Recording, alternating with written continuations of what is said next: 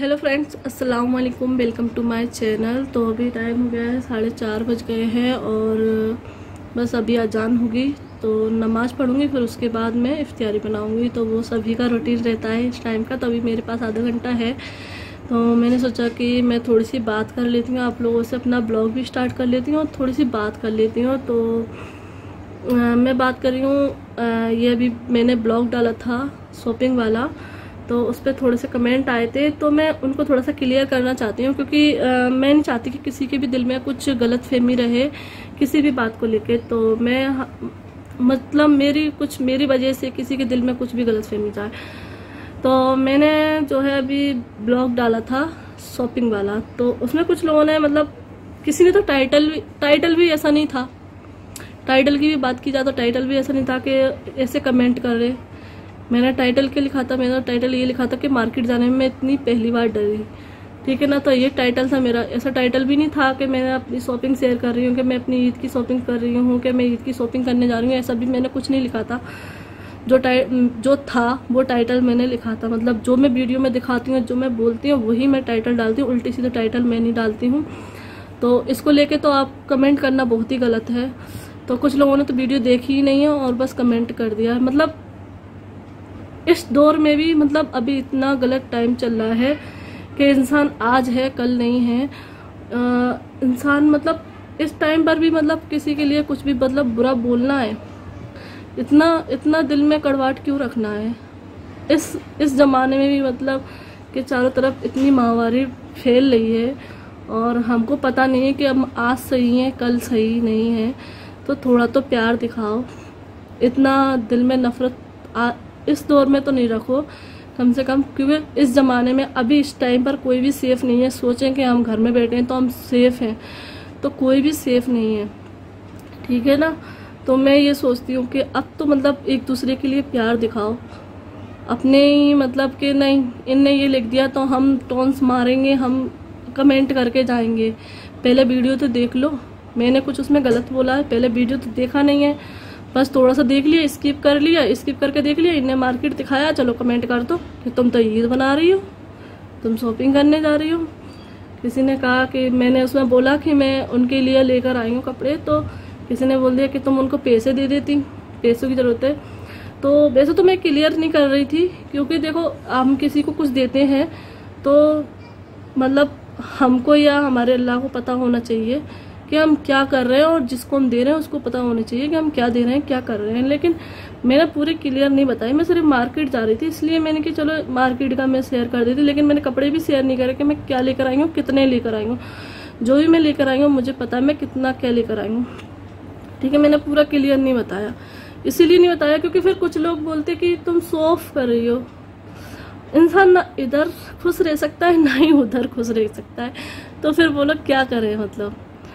तो मैंने मतलब सिर्फ़ इतना बताया ना मैं कपड़े लेने जा रही हूँ देने के लिए है? मैंने सीधा बोला है मैं ना कि अपने लिए नहीं कर रही शॉपिंग मैंने अपने बच्चों तक के लिए शॉपिंग नहीं करी। क्यों करूँ मैं? नहीं है दिल इस बार नहीं करना मुझे शॉपिंग वॉपिंग। लेकिन ज़रूरत इतनी पड़ी जब पहली बात उन्होंने बोला आ, कुछ ने कमेंट किया कि आप उनको पैसे दे देती हूँ।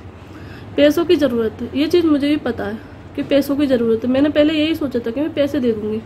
और पैसे में, देखो मैं ये बात क्लियर नहीं कर रही हूँ, ना ही मैं शो ऑफ़ कर रही हूँ। मैं सिर्फ़ जिसने ये कमेंट करे, मैं उनके लिए बोल रही हूँ। मैं बता रही हूँ मतलब ये नहीं है कि मैं बहुत मतलब शो ऑफ़ कर रही हूँ, ये चीज़ नहीं है। हम हर साल जितना गेहूँ का हिस्सा निकालते थे, उससे डबल इस बार निकाला, क्योंकि हमें पता है कि इंसान की क्या सिचुएशन हो रही है। इस टाइम पर कोई काम धंधा नहीं चल रहा है तो इंसान यही उम्मीद करता है कि इस बार मतलब ईद पर जो भी बांटते हैं चीज़ें, वो हमें मिलेगी। डबल मिलेंगी, ठीक है ना? आने वाले भी इस टाइम पर जो है ज़्यादा ही लोग थे। हैं तो हमने इस बार अपना ज़्यादा हिस्सा निकाल कर रखा। डबल पिछली साल से, हर साल जो देते थे, उससे डबल हिस्सा रखा। तो हम खाली कपड़े नहीं देते हैं। कपड़ों से क्या काम चलता है? देखो, वो तो अपना दिल का है कि हम हर साल कपड़े बांटते तो कपड़े बांट रहे लेकिन कपड़ों के साथ पैसे भी देते हैं और गेहूँ भी देते हैं, क्योंकि हमारे यहाँ फ़सल होती है, उसमें से हर साल मम्मी हिस्सा निकालती थी। गेहूँ का, ठीक है ना? तो और पैसे भी मम्मी देती थी। लेकिन इस बार देखो, मैं मैं वो नहीं बता रही हूँ। मैं मतलब बार बार बोल रही हूँ, फिर भी कमेंट मत करना कि शो ऑफ़ कर रही हो। मैं बस बता रही हूँ कि ये मतलब बोला ना कि तुम पैसे दे देते उनको पैसे की ज़रूरत है। तो देखो, जो भी पैसा हमने हिस्सा निकाल कर रखा कि हमें ये पैसे बांटने हैं तो मैं ये भी नहीं कर रही थी मतलब सामने वाली लेडीज़ जो मांगने, लेने आ रही थी ना कि मैंने दे दिया, जो मेरे मन में था वो पैसा मैंने दिया। फिर उनको लग रहा है, उनको ज़्यादा ज़रूरत है। फिर वो कहती हैं कि, बेटा, हमें थोड़ा सा और दे दो पैसा, हमें ज़्यादा ज़रूरत तो मैं और दे रही हूँ मतलब उनको, उनकी ज़रूरत के हिसाब से। वैसे तो हमारे देने से कुछ उनकी ज़रूरत पूरी नहीं हो जा रही, लेकिन थोड़ा बहुत जो भी है उनका सहारा लग जाएगा हमारे देने से। और फिर अल्लाह ने हमें इस लायक कराया कि हम सामने वाले की मदद कर सकते हैं। तो हम कर रहे हैं। अगर हमें नहीं दिया होता तो हम नहीं करते। ठीक है ना? अल्लाह के इजाज़त के बिना तो एक पत्ता भी नहीं हिलता तो फिर हम कौन होते हैं किसी की मदद करने वाले? वो तो अल्लाह का हुक्म है, उनकी तरफ़ से है कि हम ज़रिया बन जाएँ उनका कुछ करने के लिए तो कर रहे हैं।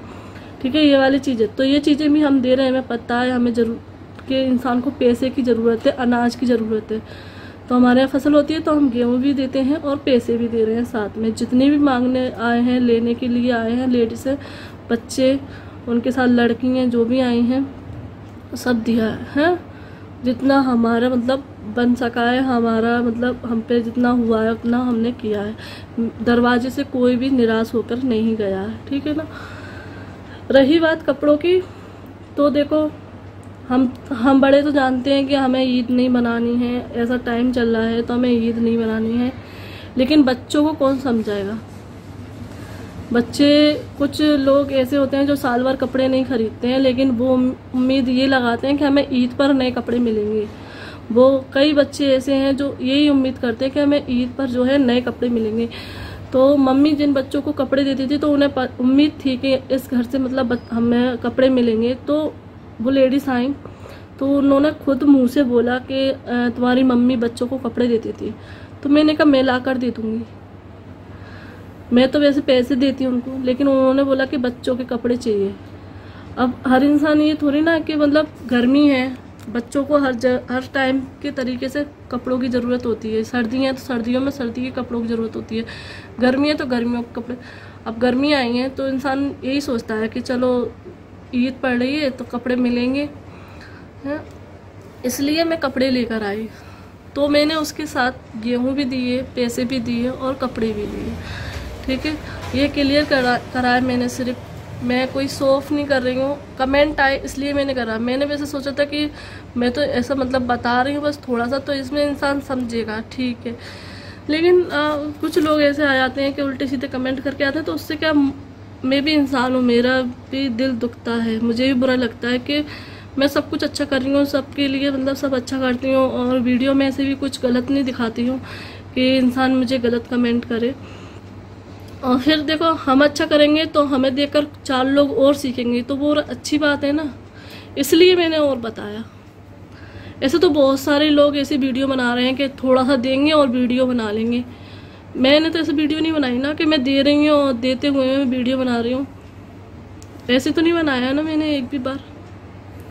ले, फिर भी पता नहीं क्यों इंसान नफरत रख के बैठा है। अरे, थोड़ा सा टाइम है, छोटी सी ज़िंदगी है। खुश रहो, दूसरों को भी खुश रहने दो। ब्लॉगिंग करते हैं, इसका मतलब ये नहीं है कि मतलब तुम थोड़ा सा देखो और हमें टॉन्स मार के चले जाओ, है ना? तो थोड़ा सा अच्छा भी सोचा करो। हरदम, हर इंसान बुरा नहीं होता है। अच्छे भी लोग हैं। अगर हम अच्छे बनेंगे तो सामने वाला भी इंसान अच्छा बनेगा। वैसे मुझे इतनी बात करने की ज़रूरत नहीं पड़ती कि अगर ऐसे कमेंट नहीं आते तो। जब गलत कमेंट आते हैं, तभी मैं जो है बात करती हूँ। वैसे मैं ज़्यादातर कमेंट के ऊपर बात नहीं करती हूँ। जब जब करिए, जब जब गलत कमेंट आए, जब जब करती हूँ। फिर मैं ऐसे मतलब इतना मतलब क्या बोलूँ मैं? फिर भी मैं सोचती हूँ कि चलो कुछ नहीं बोलो, रहने तो चलो छोड़ो, कुछ नहीं है, चलो छोड़ो। लेकिन कुछ भी गलत गलत नहीं बोला करो। मैंने इतना गलत तो नहीं किया। मैंने कुछ गलत नहीं किया। इतना भी किया। मैंने कुछ गलत नहीं किया। सामने वाले की मदद ही कर रहे हैं। अल्लाह पाक ने किया है तो कर रहे हैं। ठीक है ना? अगर है हम पे देने देने लायक बनाया है, वैसे तो अल्लाह ही है सब कुछ देने वाला।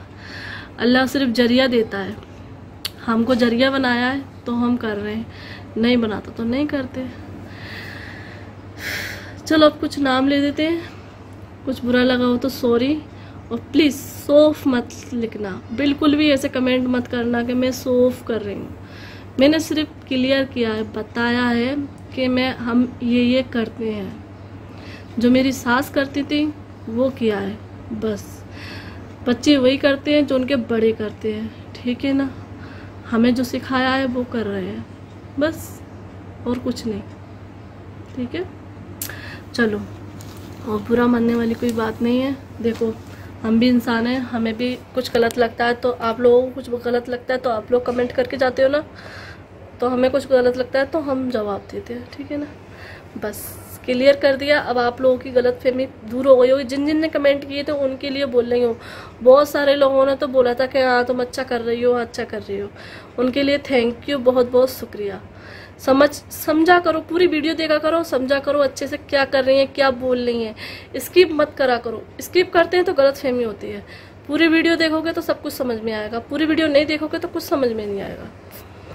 इसीलिए गलत फहमी होती है। तो इसलिए कहते हैं ना कि सामने वाले इंसान को समझो तो सब कुछ सही होगा। नहीं समझते तो होती है ना लड़ाई, भिड़ाई। क्यों होती है इंसानों में? इसीलिए होती है। क्योंकि समझता नहीं आजकल इंसान समझता नहीं है। कुछ नहीं समझता। समझो। थोड़ी मोहब्बत लाओ दिलों में मोहब्बत। ये टाइम सबका एक दूसरे का साथ देने का है, ना कि नफ़रतों का। क्योंकि इतना बड़ा ये जो हम लोगों पर परेशानी आई है ना, वो जाएगी, दूर होगी मोहब्बत से ही। ठीक है ना? तो सबको दुआओं में याद रखो और इस कोरोना के लिए दुआ करो कि ये जल्दी से दूर हो जाए। तो अब मैं नाम ले लेती हूँ तो मूड ऑफ़ हो जाता है। आप लोगों के फिर मैं कमेंट पढ़ती हूँ तो अच्छे कमेंट आते हैं तो मूड सही हो जाता है।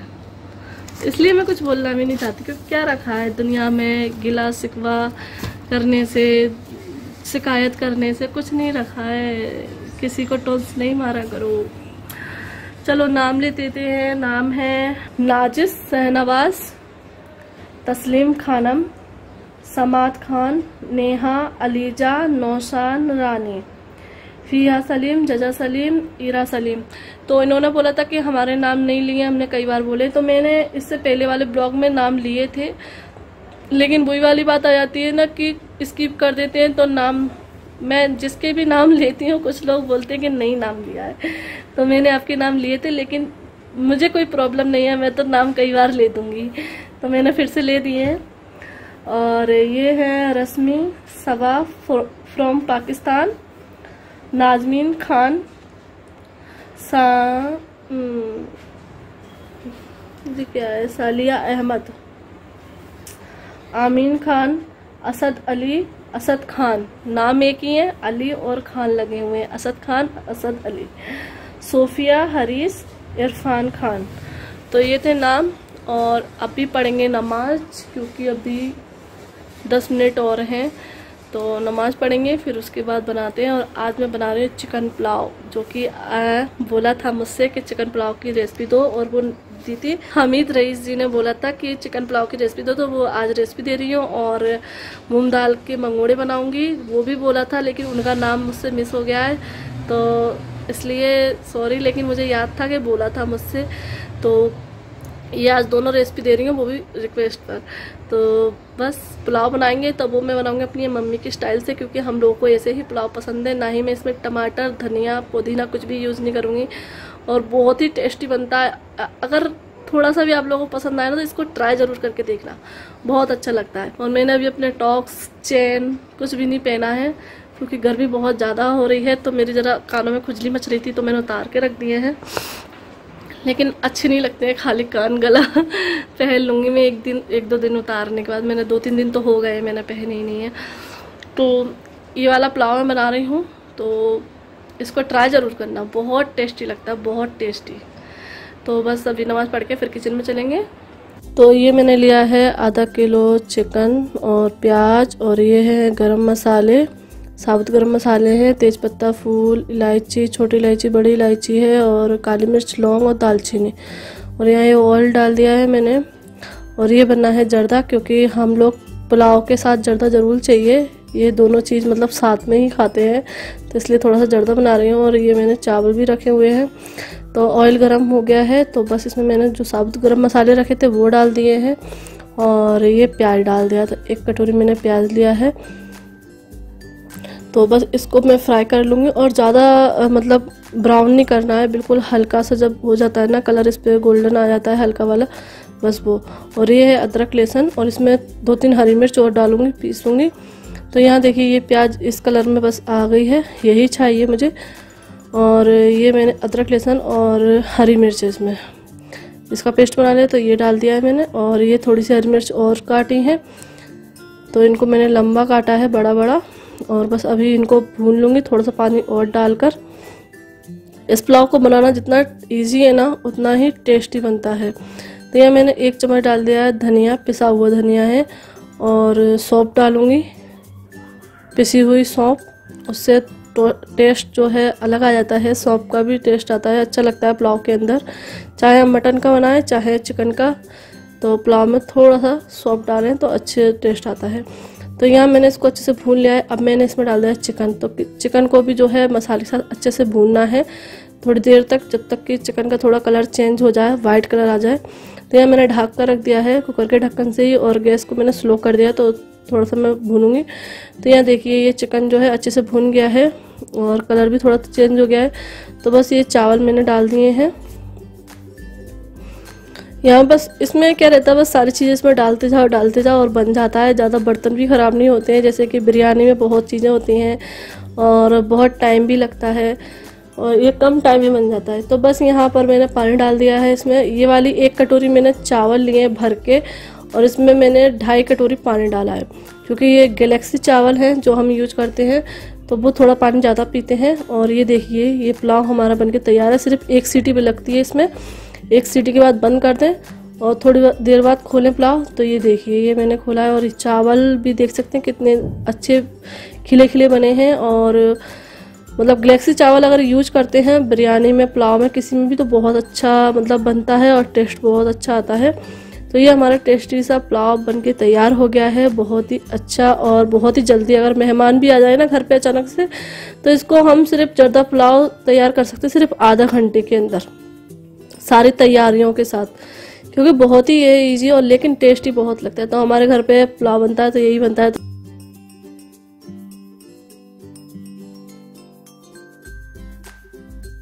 एक कमेंट आ रहा था कि मूंग दाल के बड़े बनाना बताओ। मतलब मूंग दाल के जो मंगोड़े हम लोग मंगोड़े बोलते हैं उनको।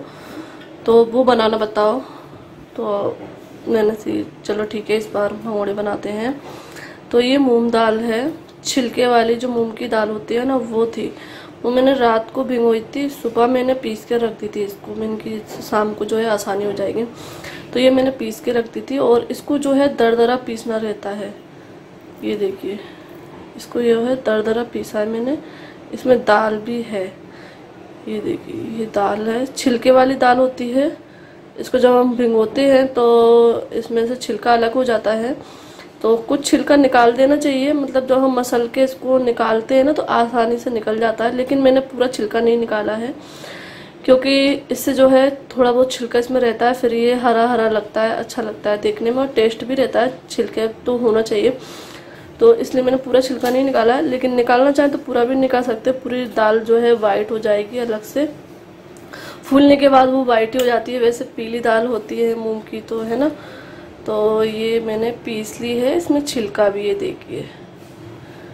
ठीक है? तो ये मैंने पीस के सुबह ही रख ली थी। मैंने रात को भिंगोई थी सुबह पीस के मैंने फ्रीज में रख दी थी इसको। और इसमें जाता है बस सिंपल से मसाले जाते हैं जैसे कि ये प्याज धनिया हरी मिर्च अदरक भी जाती है लेकिन अदरक मेरे पास नहीं है। और इसमें जाएगा आ, लाल मिर्च पाउडर गरम मसाला सौफ। बस, ये तीन चीज़ें और जाएँगी। नमक नमक के बिना तो कुछ नहीं है खाने के अंदर तो इसमें नमक जाएगा, ठीक है? तो अभी इसको हम मिक्स कर लेते हैं सारी चीज़ें और फिर फ्राई करते हैं। तो यहाँ मैंने गरम मसाला, लाल मिर्च पाउडर और सौंफ और नमक डाल लिया है, प्याज डाल लिया है। अभी मैंने थोड़ा सा बचा लिया है, क्योंकि ज़्यादा भी नहीं होना चाहिए और कम भी नहीं होना चाहिए तो बस इसको मैं मिक्स करूँगी। और इन बड़ों की हम सब्ज़ी भी बना सकते हैं। तो आज मैंने सुबह सब्ज़ी नहीं बनाई थी तो अभी मैं सब्ज़ी बनाऊँगी इसकी। बहुत जल्दी बन जाती है और बहुत ही टेस्टी लगती है और मेरे हस्बैंड की फेवरेट है मंगलों की सब्ज़ी। तो मैं वो भी बनाऊँगी तो वो भी आप लोगों बता दूँगी क्योंकि जब भी मंगोड़े बनाए तो सब्ज़ी हमारे घर में ज़रूर बनती है। और मेरी मम्मी की बहुत फेवरेट थी। मंगोड़े की सब्ज़ी वो ज़रूर बनाती थी। उनको बहुत अच्छी लगती थी। वो चाहे मटन नहीं खाएँगी, लेकिन मंगोड़े की सब्ज़ी बहुत ज़्यादा फेवरेट थी उनकी। तो यहाँ मैंने जो है अच्छे से इसको, प्याज को जब हम इस तरीके से मिक्स करेंगे ना तो उसको मतलब तोड़ लेंगे। टूट जाती है वो, ये देखिए अलग अलग हो गई है। यहाँ मैंने ऑयल रखा है गर्म करने के लिए। तो बस ऑयल गर्म हो जाए तो फिर हम मंगोड़े डालेंगे। और मंगोड़े आपके ऊपर डिपेंड करते हैं, आप छोटे बनाते हैं, बड़े बनाते हैं मतलब इसके अंदर हींग भी डाल सकते हैं। मैंने नहीं डाला है। बस हींग और अदरक छोड़ दिया है। अगर आप डालना चाहें तो डाल सकते हैं। तो ये देखिए, इस तरीके से जाएगा। बस मंगोड़ा में क्या रहता है, बस इस तरीके से, ऐसे दबा दबा के मतलब इस तरीके से बनाने क्योंकि इकट्ठा हो जाता है ये। इसमें बिना पानी डाले इसको पीसते हैं, पानी डालकर नहीं पीसते हैं, बिना पानी डाले पीसते हैं इसको।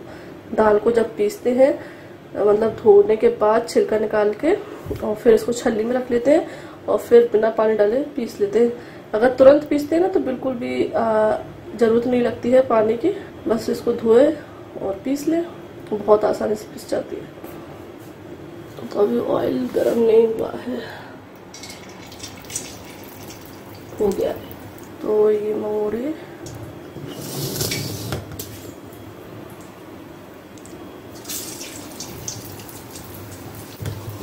इस तरीके से।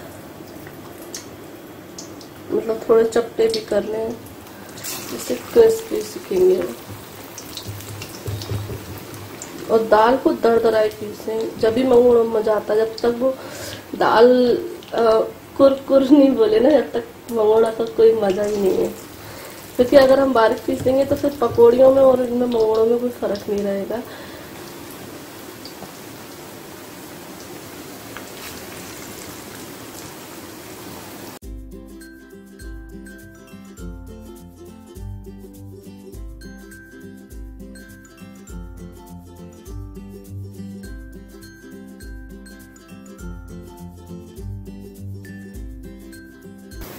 इनको थोड़ा सा इस तरीके से दबा के सीखते इस तरह से। जैसे क्या अंदर से भी जो है, क्रिस्पी हो जाती है। मतलब अंदर से तो सॉफ्ट रहेंगे, लेकिन अंदर तक ये फ्राई हो जाएँगे।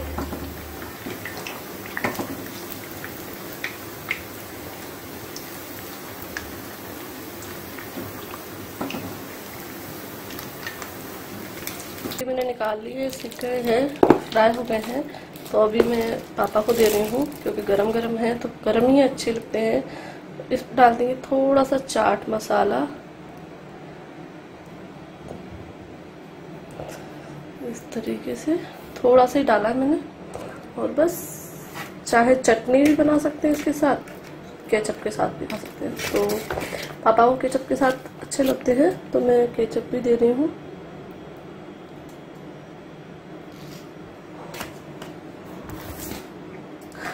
तो ये रहे हमारे चटपटे टेस्टी गरम गरम मंगोड़े। हम मंगोड़े ही बोलते हैं तो मैं मंगोड़े ही बोली उनको, मूंग दाल के मंगोड़े।